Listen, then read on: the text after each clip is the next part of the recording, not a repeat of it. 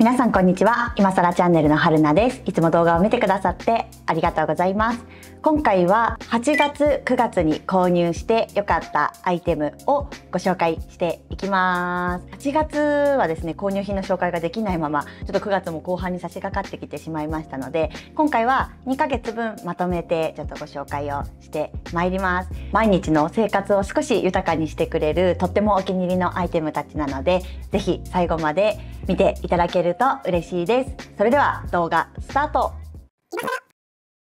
はいまず一つ目はこちら。じゃーん。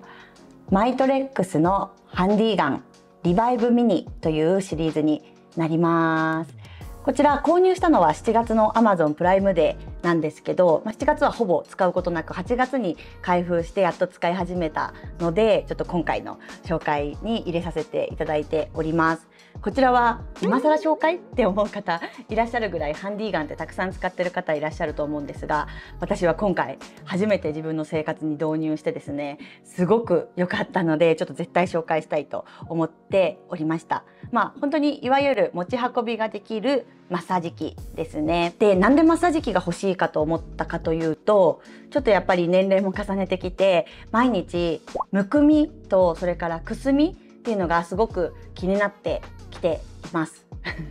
でこのむくみとかくすみってやっぱり体の血行不良っていうのがすごく影響するらしいです。そういう意味でもやっぱり体をしっかりほぐしてあげて血流の流れを良くするっていうのがむくみとかくすみを撃退するっていうのを知って自分のこの手だけでもマッサージするの難しいなと思ってこのハンディガンの導入を検討していました。でプライムデーでたくさんいろんなものが安くなってたんですけど皆さんにおすすめ聞いたらこのマイトレックスがおすすめっていうことだったのでもうその声を信じようと思って購入してすごくいいです。こちらは持ち運ぶプロの整体師って言われてるアイテムで4つアタッチメントがついてくるんですけど顔からあと足の先までいろんなアタッチメントを使い分けることによって体中をほぐすことができます。こんな感じでいろんなアタッチメントがついてるんですけど私がやっぱりよく使っているのはまずは肩周りですね。どうしてもデスクワークとかあとウェブ会議が多くてこの辺りがカチコチになってしまうので肩周りは本当によくほぐしてます。あとは足もですねむくみがすごいのでこのタイプのを使って大きいところはほぐしてあとこういう挟めるタイプもあるのでこういうので足首とかすねの辺りとかを挟んで使ったりあと足裏とかはこういうもうピンポイントで刺激するようなアタッチメントもあるのでこういうのでほぐしていることが多いです。でこれほぐすと本当に体がじわーんってこう暖かくなって血がしっかり巡ってるのが分かりますし寝る前に私はすることが多いんですけど眠りの質っていうのも変わってきている気がします。あとおすすめは顔なんですけどやっぱり顔は刺激が強いと良くないのでこんな感じのタイプのアタッチメントもついてきてこれを装着してで強度もそう 5, 5パターンで調整できるんですけど顔をやるときは1の強度でで優しくこの顔周り目の辺りは危ないのでこうフェイスラインとかあとこのやっぱり気になるほうれい線の辺りとかあとこのこめかみとかっていうのをほぐしておくとですね翌日のむくみが全然違う気がするのでそういう意味でもすごく役立っています。でこれ手のひらサイズで重さもだいたいりんご1個分ぐらいすごく持ち運びがしやすいというのもポイントでかっこいいケースがついてきてですねこんなコンパクトなケースに入れて持ち運ぶことができるので私は東京行く時はこれ丸ごと持って行ってるんですけどマイトレックスのロゴが入ったコンパクトな袋もついてくるのでとお仕事の時に持ち運んで使いたいなっていう時にも持ち運びしやすくて便利です。結構ハンディガンっていろんなタイプがあると思うんですけど今回このコンパクトなタイプを選んだっていうのがこうさっと使いたい時に取り出して使えるというところがストレスもないのでこれ本当に買ってよかったなと思います。よかったら是非チェックしてみてください。続いてがこちらです。じゃーん。 CASETiFY のスマホケースです。スマホケースをちょっと新調いたしました。こちらはですね私の会社の後輩が結構長くこのケースを使っていてえめっちゃ可愛いって言ってずっと気になってたんですよ。後輩もミラーのタイプに自分の名前が入っててですね私もここ春菜って名前入れてるんですけどそれがめっちゃ可愛いなと思ってちょっと次買うなら検討しようって思っていました。でもう一つ大事なポイントがやっぱり衝撃に強いかどうか。っていう耐久性のところなんですね。でこの CASETiFY はすごく耐久性が高くて落下とか衝撃に強いっていうのもネットで調べてたら出てきてあそれならもうこのデザイン性も高くてで衝撃にも強いっていう2つのポイントを全部備えてるなと思いましてこちらのケースに決めました。もう一つはもうサイト見ていただくと分かるんですけどすっごくデザインが多いんですよ。そこから自分の好きなタイプを、え選べるというところもすごくいいなと思いました。で私はこちらの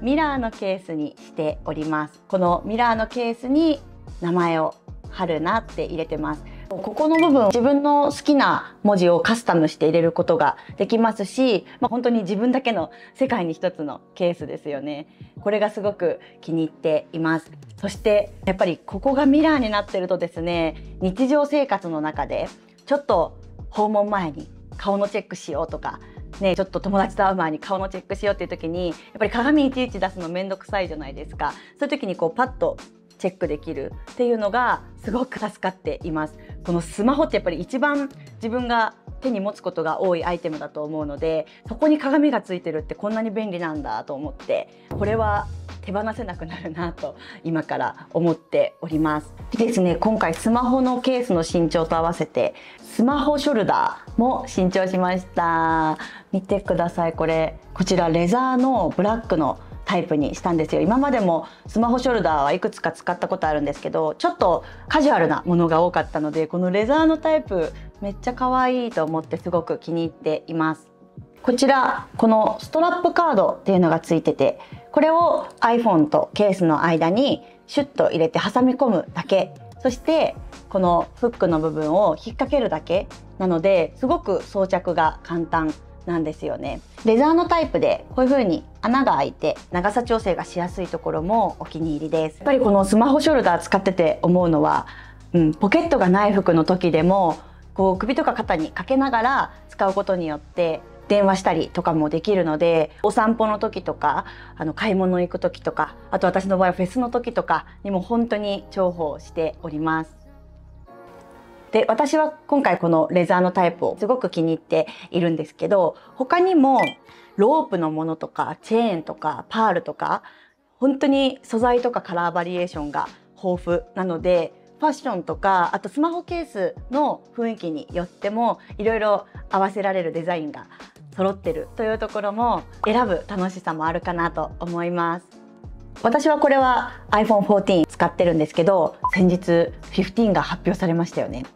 なんともう15用のスマホケースもたくさん販売されています。これちょっとお借りしたものなんですけどこんな感じで同じようにカスタマイズができたり数千種類以上のプリントデザインにも対応してるそうです。私はちょっとこのクリアなケースに猫ちゃんがいる。可愛いケースをお借りしました。でこの iPhone15 のケースは引き続き耐久性っていうのを追求し続けているそうでなんと2メートルから最大10メートルの落下試験っていうのでもクリアしているそうです。すごくないですか？でさらに従来の商品よりも16%もスリムになってて軽量化されているのでケース自体が重たくないっていうのもすごい特徴だなと思います。あとはここにですねストラップホールもついているのでストラップをつけてより便利に使うこともできるそうです。ということでこの CASETiFY のケースそしてスマホショルダ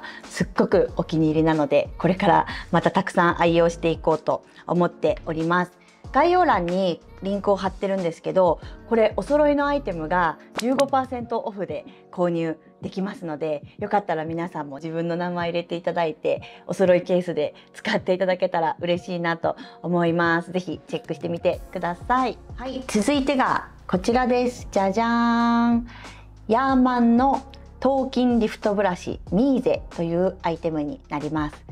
こちらもですね実は7月のプライムデーで購入したんですけどちょっとずっと使えてなくてやっとこの間使い始めてもうなんでこれ早く使わなかったんだろうと思ってるぐらい気に入っているのでご紹介させていただきます。こちらは低周波の EMS によって筋肉を刺激して引き上げてくれるっていう美顔器です。なんで買おうかと思ったかというとやっぱりもう年齢によってですねお肌のたるみとかあともたつきみたいなのから 目が避けられなくなってきたんですよ。でこのたるみとかもたつきって頭皮の筋肉が硬くなってしまってるっていうのが原因の一つにあるらしいです。でそのために頭も顔もその筋肉を刺激してあげることで顔を引き上げるっていうのが大事だっていうことでセールで安くなってたので購入をしました電源を入れてここの上のボタンで3段階強さを調整することができます。ちょっとこのライトがついたり消えたりしてるのわかるかな？何が便利かというと今顔用のアタッチメントなんですけどスカルプ用頭用のやつ。アタッチメントを付け替えるだけで1台で2役なんですよ。防水なのでこうお風呂でシャンプーとかトリートメントをする時に合わせて頭の筋肉を刺激できるっていうのが本当に便利です。これのためだけに時間作ろうと思うとどうしても難しいんですけどいつもの生活にちょっと加えるだけでケアができるっていうのがすっごくすっごく便利です。で刺激はどうかっていうとですねこれは本当に人によるかと思うんですけど頭はまずちゃんと濡らした状態でやらないとほぼ刺激ないです。濡らしても私はちょっと時折ピリッとするぐらいかなって感じです。で顔は私はもう3のレベルで使ってるんですけど結構ビリリリビリリリってくるぐらいこう刺激されてるのが分かります。なので最初は一番低い段階から使っていただくのがおすすめです、ま、ちょっとすぐすぐ今ねあの数週間使って効果が出たかというとちょっとわからないんですけどやっぱりこういうのは将来のために今できることをコツコツやっておくっていうのが本当に大事だと思うのでやっぱりこの毎日の生活に組み込んで使いやすいっていうのがすごく大事だなと思ってとても買ってよかったなと思っています。ヤーマンの美顔器とってもおすすめです。はい続いてがこちらです。じゃじゃーん。Vlog 用のカメラを新調いたしました。こちらはキヤノンさんから出ているパワーショットという Vlog 用のカメラです。手のひらサイズで可愛いですよね。すごいちっちゃい。Vlog 用のカメラはやっぱり持ち運びしやすくて。で自撮りしてても周りの人から何あの人って思われないこうさりげなさっていうのを大事にしていてずっとこの DJI のポケットを使っていたんですけどちょっと結構長く使ってることもあってだいぶ傷ついてきたりここのカメラの回転がうまく回らなくなってきたりちょっともう新しいの買った方がいいなって思ってたところで同じの買うか。で迷ってたらちょうど電車の広告かなんかで見てえー、使ってみたいと思って購入しました。まずちょっとね DJI の方は細長いんですけどこちらは四角に近いちょっとした長方形っていう感じのサイズ感で本当にこうやって持ってですねもうこの後ろの電源を入れれば撮影が始められます。こんな感じ。そう。でここのボタンをピッと押せば撮影がスタートするんですよ。でこれ何が便利かというとパカーッとこの後ろの画面がこのように開いてですね自撮りがすごくしやすいというところも ポイントが高いです私はすごく自撮り多いのでそうこんな感じで使えるしさらにここにですねスタンドも内蔵されているのでこうやってパカッとやってテーブルの上に置いておけば自分がご飯食べてるシーンとかいろんなシーンを撮影することができます。ね、すごくコンパクトな中にこういろいろ機能が詰め込んであるっていうのがすごくお気に入りです。で実際に撮ってみたのがこんな感じの映像になります。そんなに私カメラ詳しくないのでちょっと詳細はわからないんですけどすごく画質も良くってですね。で映像も滑らかですよね。あとですねここ撮影モードっていうのがあってここで美肌動画っていうのにしたりこっちにすると手ブレ補正の動画にしたりちょっと私手ブレ補正しないで一回散歩中に撮ってみたんですけど手ぶれすごかったんですけどそうっていう風にモードも簡単に選べるというのも初心者の方にもすごくおすすめだなと思っております。でこれなんとあのパソコンと USB 接続すればあのウェブカメラとしても使えるので高画質のウェブカメラとしてリモート会議とかでも使えるかなと思います。ぜひ新しいカメラ検討している方はチェックしてみてはいかがでしょうか？はい、続いてがちょっと変わったアイテムかもしれないんですけど、こちらです。じゃじゃーん。カードなんですけど、これがプレーリーカードというデジタル名刺のアイテムになります。これが名刺なんですよ。これはですね春ぐらいに経営者の会に出た時にあのこのカードを使っていろんな方と情報交換されてる方がいてめっちゃ気になるって言って教えてもらいました。でやっと購入していろいろ設定をしてみたところなんですけどこのカードの中に名刺情報を入れておくことができるんですね。でスマホでこうピッて